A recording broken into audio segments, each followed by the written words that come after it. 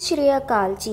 Domestic violence ਦੇ ਸ਼ਿਕਾਰ ਹੋਈ ਅਮਰੀਕਾ ਦੀ ਮਨਦੀਪ ਕੌਰ ਬਾਰੇ ਤਾਂ ਹਰ ਕੋਈ ਜਾਣਦਾ ਹੀ ਹੈ। ਇਸਨੇ ਕਿ 8 ਸਾਲ ਡੋਮੈਸਟਿਕ ਵਾਇਲੈਂਸ ਸਹਿਣ ਤੋਂ ਬਾਅਦ ਆਖਿਰਕਾਰ ਆਤਮ ਹੱਤਿਆ ਕਰ ਲਈ। ਆਪਣੇ ਪਿੱਛੇ ਆਪਣੀਆਂ ਦੋ ਛੋਟੀਆਂ ਧੀਆਂ ਨੂੰ ਛੱਡ ਕੇ ਇਸ ਦੁਨੀਆ ਤੋਂ ਚਲੀ ਗਈ। ਇਸ ਤੋਂ ਬਾਅਦ ਹਰ ਕੋਈ ਮਨਦੀਪ ਕੌਰ ਨੂੰ ਜਸਟਿਸ ਦਿਵਾਉਣ ਦੀ ਕੋਸ਼ਿਸ਼ ਕਰ ਰਿਹਾ ਹੈ।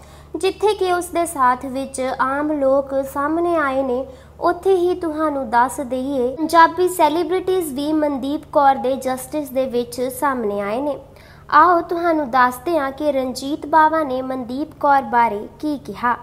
ਰਣਜੀਤ ਬਾਵਾ ਦਾ ਕਹਿਣਾ ਹੈ, ਮੁੰਡਾ ਜਾਂ ਕੁੜੀ ਜੰਮਣ ਵਿੱਚ ਔਰਤ ਦੀ ਕੁੱਖ ਹੁੰਦੀ, ਬਾਕੀ ਸਭ ਕੁਝ ਮਰਦ ਦੇ ਹੱਥ ਹੁੰਦਾ ਹੈ। ਇਹ ਨਹੀਂ ਕਿ ਜੇ ਕੁੜੀ ਹੋਈ ਤਾਂ ਔਰਤ ਨੇ ਜੰਮੀ ਤੇ ਜੇ ਮੁੰਡਾ ਹੋਇਆ ਤਾਂ ਮਰਦ ਦੀ ਮਰਦਾਨਗੀ। ਸਾਰਾ ਕੁਝ ਹੀ ਬੰਦੇ ਤੇ ਨਿਰਭਰ ਕਰਦਾ। ਆਪਣੇ ਲੋਕਾਂ ਨੂੰ ਹਾਲੇ ਵੀ ਨਹੀਂ ਸਮਝ। ਤੇ ਸਾਰਾ ਕਸੂਰ ਔਰਤ ਦਾ ਹੀ ਕੱਢਦੇ ਨੇ। ਰੱਬ ਇਹਨਾਂ ਨੂੰ ਅਕਲ ਦੇਵੇ। ਨਾਲ ਹੀ ਰਣਜੀਤ ਬਾਵਾ ਨੇ ਕਿਹਾ, ਅਕਲ ਦਿਓ ਅੰਨੋ ਰੱਬ ਤੋਂ ਡਰੋ। ਕੁੜੀਆਂ ਵੀ ਰੱਬ ਦੇ ਜੀ ਨੇ। ਤੁਹਾਡੀ ਮਾਂ ਵੀ ਕੁੜੀ ਸੀ ਜਿਨੇ ਦੁਨੀਆ ਦਿਖਾਈ। ਧੀ, ਮਾਂ, ਭੈਣ ਤੇ ਪਤਨੀ ਹੋਰ ਅਨੇਕਾਂ ਰਿਸ਼ਤੇ ਔਰਤ ਦੇ ਬਿਨਾ ਅਧੂਰੇ ਨੇ। ਨਾਲ ਹੀ ਉਹਨਾਂ ਨੇ ਜਸਟਿਸ ਫਾਰ ਮਨਦੀਪ ਦਾ ਹੈਸ਼ਟੈਗ ਵੀ ਲਗਾਇਆ।